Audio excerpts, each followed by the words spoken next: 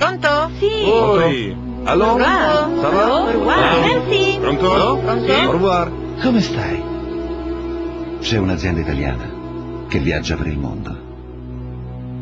Parla spagnolo in Brasile, portoghese in Argentina, turco a Cuba, croato in Corea, slovacco in Slovenia, sloveno in Slovacchia.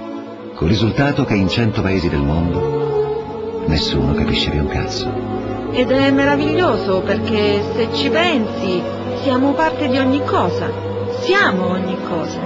E mentre 18 paesi si avvalgono delle sue tariffe esorbitanti, ce n'è uno che ne trarrà sempre l'inculata maggiore.